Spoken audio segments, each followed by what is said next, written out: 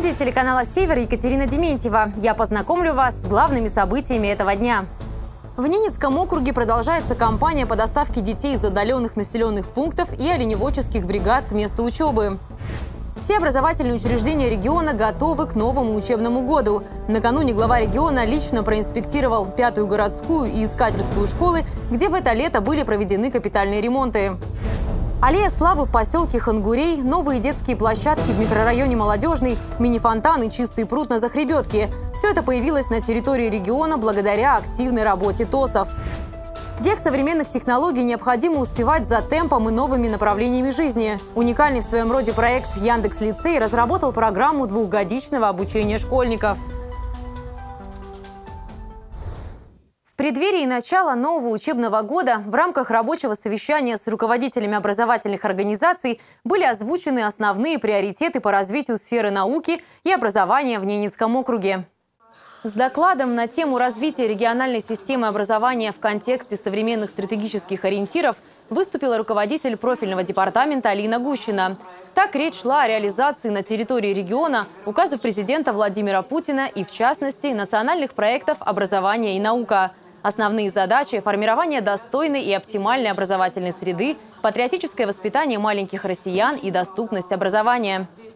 В период с 2015 по 2019 год в округе создано более тысячи новых мест для обучающихся. До конца 2019 года мы с вами с надеждой ждем еще 850 мест. Вместе с тем существует проблема в округе, где имеется опережение потребностей в новых местах в образовательных организациях по отношению к создаваемым. Ясли в городе Наринмаре, поселке Бугрино, поселке Нальнос, они необходимы. И необходимо до конца 2021 года полностью обеспечить детей до трех лет местами в детских садах. Это также позиция указа президента. Кроме того, большую часть доклада Лина Гущина посвятила вопросам развития системы дополнительного образования на территории Заполярья. Вводятся новые механизмы функционирования учреждений дополнительного образования. Это навигатор образовательных программ, персонифицированное финансирование и переформатирование ресурсов. В 2018 году на базе Центра Лидер создан уже наш региональный модельный центр. В 2020 году откроется детский технопарк, как уже было сказано, на базе ДЦ. Ежегодно в каждом кванториуме планируется обучать до 800 школьников из всего округа и привлечь к этим мероприятиям порядка 3,5 тысяч детей. Также в ходе совещания обсудили вопросы подготовки образовательных организаций к началу учебного года, особенности сбалансированного питания детей и подростков и актуальные вопросы кадровой политики в сфере образования. Между тем, все образовательные учреждения региона готовы к новому учебному году. Завершены текущие капитальные ремонты школ. Накануне глава региона Александр Цибульский лично проинспектировал пятую городскую и искательскую школы. Алина Ваучейская продолжит. Первая точка в маршруте проверяющих – пятая городская школа. Здесь этим летом впервые провели капитальный ремонт. В здании 2000 года постройки заменили двери, покрасили стены. Одним словом, обновили все помещения образовательного учреждения. Так, например, в столовой заменили кафельную плитку, отремонтировали и актовый зал. Там установили подвесные потолки. Кроме того, в школе полностью заменили системы электроснабжения и противопожарную сигнализацию. Частично заменена и отремонтирована отремонтирована крыша, и дальше еще планируется эту работу завершить. В принципе, я думаю, на следующий год мы сделаем ремонт э, именно полов и полностью приведем школу нормативное состояние. Также планируется сделать еще спортивную площадку и полностью благоустройство территории школы.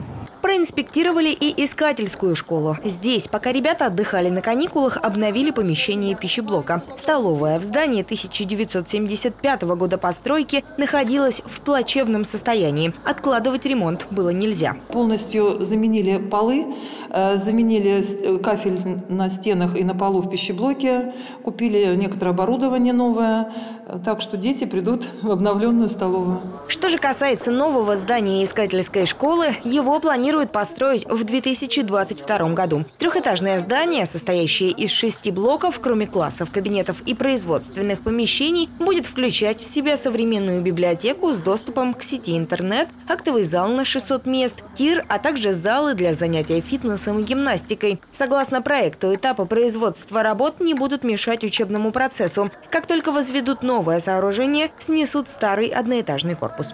Алина Волчейская, Дмитрий Лукевич, телеканал «Север». В Ненецком округе продолжается кампания по доставке детей из отдаленных населенных пунктов и оленеводческих бригад к месту учебы. Организацией процесса занимается Ненецкая средняя школа имени Антона Пырерки. За неделю регулярных рейсов на учебу в столицу округа отправятся порядка 200 школьников. Для Сергея Безумова долгие перелеты и проживание вдали от семьи уже стали привычными. В Ненецкой школе-интернате он будет учиться уже третий год. Но, как признается Сергей, расставаться с родным домом каждый раз для него тяжело. Учебному году я готовился уже заранее, уже начиная с июня. Я закупил все учебные, как не учебники, а сборники задач по физике, математике. И вот весь июнь готовился, а в июле работал, и в начале августа тоже начал готовиться. В отличие от Сергея, Оля Терентьева впервые уедет из дома надолго. Заканчивать старшие классы девушка решила не в родной деревне, а в городе.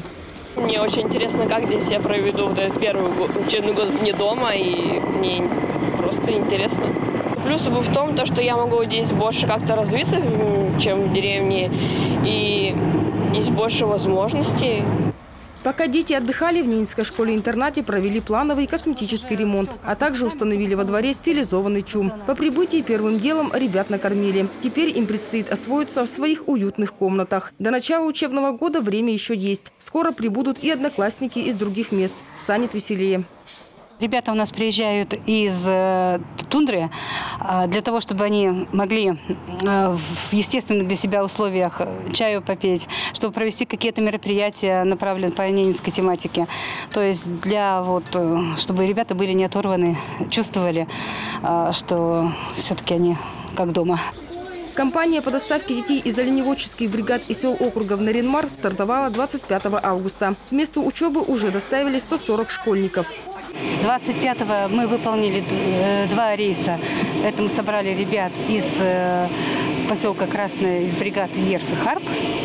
И 27-го мы ушли по западному направлению работать э, по Неси, Оме, Шойне. Сегодня мы перевезли ребят из Чижи Снопы и Вижеса в свои школы и забрали ребят, которые учатся в школах города. На 31 августа запланированы рейсы в Индигу, Выучейский, Нельминос и Бугрино. Завершится кампания по доставке детей к местам учебы 2 сентября. В этот день школьный вертолет доставит детей из оленеводческих бригад в Каратайку, Харивер и Усткару. А уже оттуда те, кто учится в школе-интернат, отправятся в Наринмар. Александра Литкова, Владислав Носкин, телеканал «Север». Аллея славы в поселке Хангурей, новые детские площадки в микрорайоне Молодежный, мини-фонтан и чистый пруд на Захребетке, звенящая гармонь над Сахалином и даже собственный территориальный Дед Мороз в Мирном.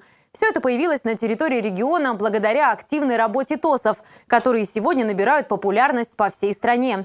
29 августа председатели и активисты территориальных общественных самоуправлений бизнес-сообществ, органов власти и некоммерческих организаций города Нарьинмара и сельских поселений собрались в Кривеческом музее, чтобы подвести итоги реализованных проектов и наметить планы на будущее. С подробностями Любовь Пермякова. Инициатором встречи городских и сельских ТОСов стал ресурсный центр НКО Ненецкого округа. Именно эта организация в прошлом году стала победителем конкурса Фонда президентских грантов. Поддержку на высшем уровне получил проект ТОСы Арктики. Мы перед собой поставили задачу год назад, когда э, написали проект ТОСы Арктики, чтобы объединить территориальное общественное самоуправление для помощи, для укрепления, для того, чтобы территориальное общественное самоуправление могли обращаться в определенное место, в такой проект с Арктики, получить консультативную помощь, юридическую, э, бухгалтерскую помощь бесплатно. Сегодня у ресурсного центра, чтобы поддержать лучшие территориальные инициативы, есть все возможности. В команде единомышленников, которые продвигают идеи ТОСовского движения, юрист, бухгалтер, менеджер по проектам. На средства президентского гранта в прошлом году было закуплено необходимое оборудование для проведения различных мероприятий. Самое главное у нас в городе Нелимаре ТОСы набирают силу, и поэтому мы уже что-то можем делать, конкретные дела. Значит, также ресурсный центр, кроме вот э, нашего проекта ТОС Арктики по президентскому гранту, у нас также есть грант муниципалитета, по которому мы сейчас проводим э, конкурс «Лучшая благоустроенная территория» и также будем проводить лучший ландшафтный дизайн. Также ресурсный центр проводит конкурс проектов для ТОСов, которые не зарегистрированы как юридическое лицо. Напомню, сейчас в городе действует 11 территориальных общественных инициатив. Один из самых активных – Захребетный. ТОСовцы регулярно участвуют в субботниках, занимаются благоустройством территории. В прошлом году жители этого микрорайона очистили пруд, заложили аллею, высадили деревья и даже установили мини-фонтан. В лидерах ТОСовцев и микрорайон Сахалин. Его жители активно участвуют не только в благоустройстве своей территории, но и организации досуга. Фирменной фишкой сахалинцев стал ежегодный праздник «Звени гармонь над Сахалином». У нас иногда столько народу приходит, что всякие конкурсы, игры проводим. Сегодня в основном-то гармонисты Солейской со, со своей поют. Это Солейская Сахарова Елена Петровна и гармонист Чупров Владимир Трифонович. И их дуэт называется «Мы вместе». Они участники всех наших праздников, играют, веселят. Что же касается сельских поселений, то на селе зарегистрировано более трех ТОСов. И им тоже есть чем похвастаться. В рамках президентского гранта у нас очень хороший был микропроект. Микропроект был э, ТОСа э, Хангурей. Они, значит, эм, организовали аллею памяти. Аллея памяти у них еще... Вот заложили аллею памяти, таблички. Сделали аллею памяти погибшим и воевавшим с поселка Хангурей. Кстати, ресурсный центр не только поддерживает лучшие окружные проекты территориальных самоуправлений, но и занимается обучением его представителей в разных регионах страны. Например, недавно председатель ТОСа «Молодежный» Надежда Соколова вернулась с фестиваля «ТОСы по море». Это большой совместный проект правительства Архангельской области и Национального парка Кинозерский. Вы знаете, ТОСы, оказывается, очень-очень много э, могут сделать они сплошь даже вот деревья, деревни, которые уже погибали, они возрождались с помощью ТОСов. В Бурятии, наоборот, с помощью ТОСов уменьшили в 11 раз случаи пожаров. То есть они настолько обезопасили себя, и вот поэтому действительно загорелось желанием что-то действительно. Они настолько меняют свою вот ситуацию в своем микрорайоне, э, в поселке, в деревнях. Они полностью выстраиваются. Мосты строят сами ТОСы. Это вообще потрясающе просто. Впереди у местных ТОСовцев тоже большие планы на будущее. Новые социальные проекты, которые обсудили с ресурсным центром тут же на круглом столе. Планируется, что лучшие из них будут реализованы в течение ближайших двух лет. Любовь Пермякова, Ленис Шишилов, телеканал «Север». Век современных технологий необходимо успевать за темпом и новыми течениями жизни. Особенно это касается подрастающего поколения, в чьих руках будущее.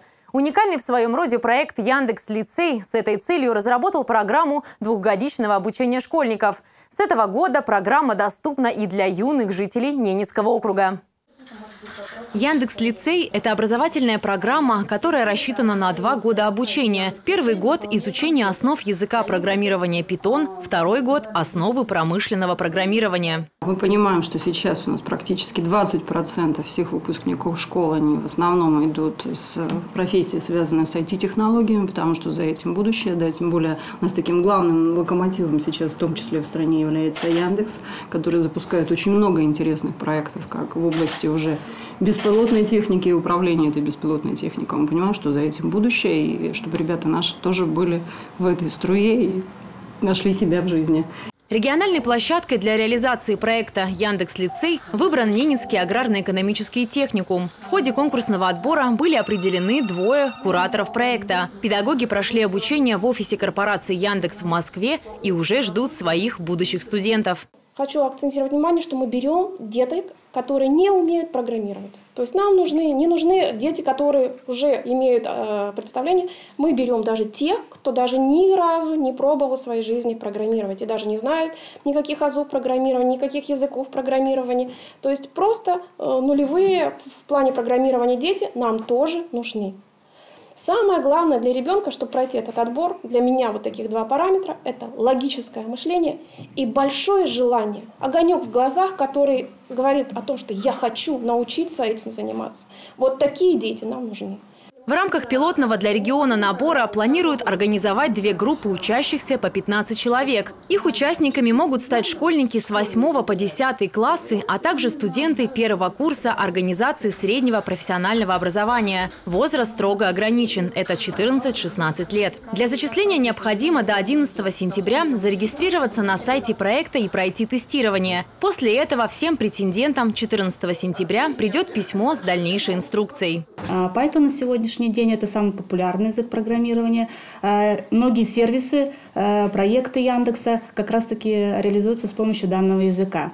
А, в мае у нас было собрание школьников, мы приглашали, сделали небольшую рекламу. И сегодня, 30 августа, впервые в нашем регионе стартует этот проект по отбору школьников.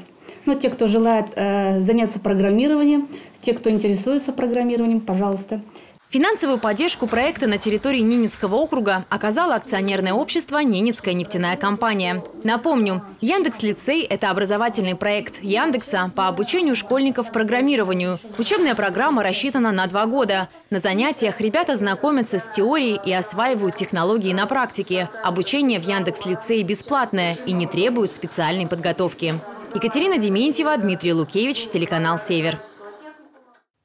Как стать успешным и подняться вверх по карьерной лестнице? Есть ли у молодых людей возможность воплотить свои самые смелые идеи в жизнь? Ответы на эти вопросы активная молодежь округа получила благодаря федеральному проекту «Диалог на равных». В рамках уникального проекта Агентства по делам молодежи известные люди из мира политики, спорта, культуры и бизнеса на своем примере показывают, что можно добиться успеха в любой сфере и в любом регионе – Накануне в Ненецкой центральной библиотеке имени Печкова состоялась встреча студентов и старшеклассников с уполномоченным по правам человека в Ненецком округе Ларисой Свиридовой.